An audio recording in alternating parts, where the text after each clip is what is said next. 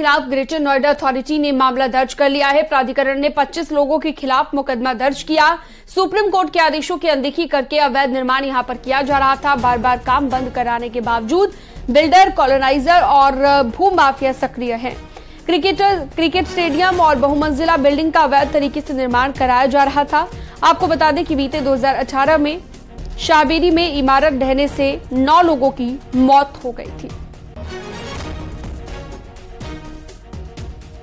17 जुलाई 2018 हम सबको याद होगी। नौ लोगों की दर्दनाक मौत हुई थी, जब दो इमारतें जमींदोज हो गई थी, जगह थी शाबेरी।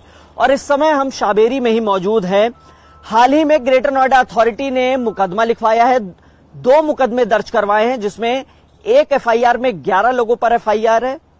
दूसरी एफआईआर में 12 लोग नामजद मुकदमा दर्ज है। और आप तस्वीरें देखेंगे, यहाँ पर अवैध निर्माण अभी भी धड़ल्ले से जारी है।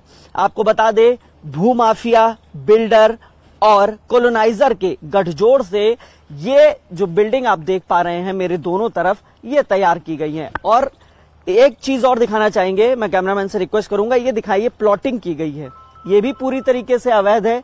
ये प्लॉटिंग और इसके अलावा यहाँ पर कॉलोनी काट दी गई है। कई बहुमंजिला इमारत बनाई जा रही है और अब मुकदमा दर्ज कराया गया जिसमें अवैध रूप से स्टेडियम का निर्माण कराया जा रहा था।